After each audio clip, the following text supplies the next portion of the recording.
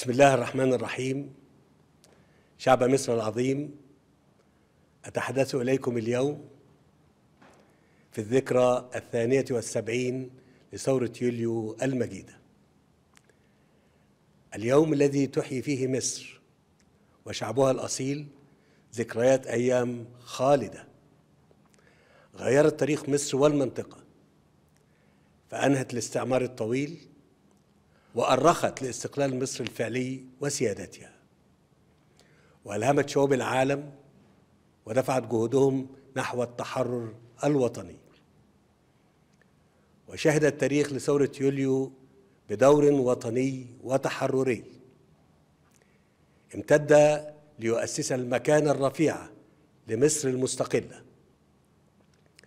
وهذا اسمها في ذرى عالية عربيا وإفريقيا ودوليا.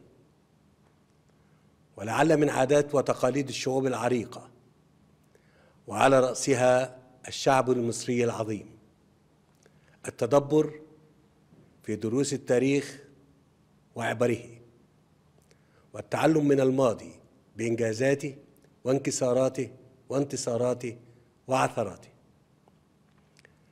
لضمان استمرار مسيرة التقدم الوطني وتحقيق المصالح العليا للوطن.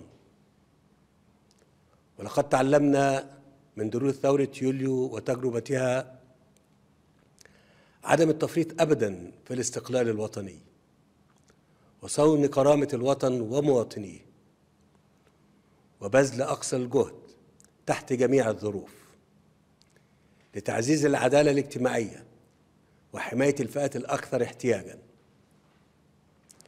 كما رسخت ثورة يوليو المجيدة دور مصر الفاعل في محيطها العربي والإفريقي وإسهامها الكبير.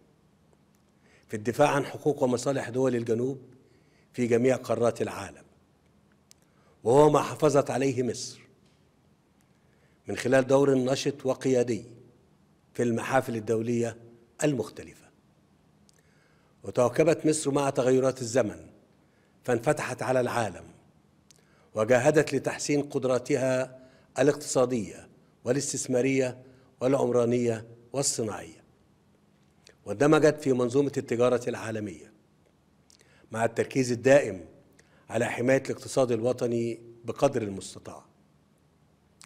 من تقلبات الاقتصاد العالمي وصدماته والعمل من خلال منظومات متكاملة وفاعلة. على توفير الحماية الاجتماعية اللازمة. كما حافظت مصر على أرضها وسيادتها واستقلالها. وارست سلاما قائما على العدل واسترداد الأرض. مع التمسك الراسخ والثابت بحقوق أشقائها ومصالحهم وخاصة الأشقاء الفلسطينيين وحماية قضيتهم العادلة من التصفية. والعمل المكثف لمساندة حقهم المشروع في الدولة المستقلة ذات السيادة. شعب مصر الأبي الكريم إن الواقع الإقليمي والدولي الراهن يفرض على مصر وغيرها من الدول تحديات جديدة وأوضاعا مركبة فما بين زيادة التوتر والمواجهات الجيوسياسية على مستوى النظام الدولي إلى ما يعاني منه المحيط الإقليمي من انتشار الحروب والصراعات والاقتتال الأهلي وتمزق بعض الدول وانهيار مؤسساتها والأوضاع الإنسانية الكارثية وانتشار المجاعات والنزوح بالملايين. تضيف هذه الظروف غير المسبوقة. أعباء هائلة على مصر. لا يخفف منها سوى ما أعلمه يقينا. من قوة شعبنا العظيم وصلابته أمام الشدائد. وتماسكه ووحدته كالبنيان. يشد بعضه بعضا. بما يجعلني واثقا بإذن الله وفضله أن مصر ستعبر تلك المرحلة المضطربة إقليميا ودوليا وستواصل تقدمها ومسيرة تنميتها وبناء دولتها بما يحقق تطلعاتنا جميعا في وطن حر كريم ومستقبل مشرق لجميع أبناء الوطن. كل عام وأنتم بخير ومصر في سلام وأمان واستقرار.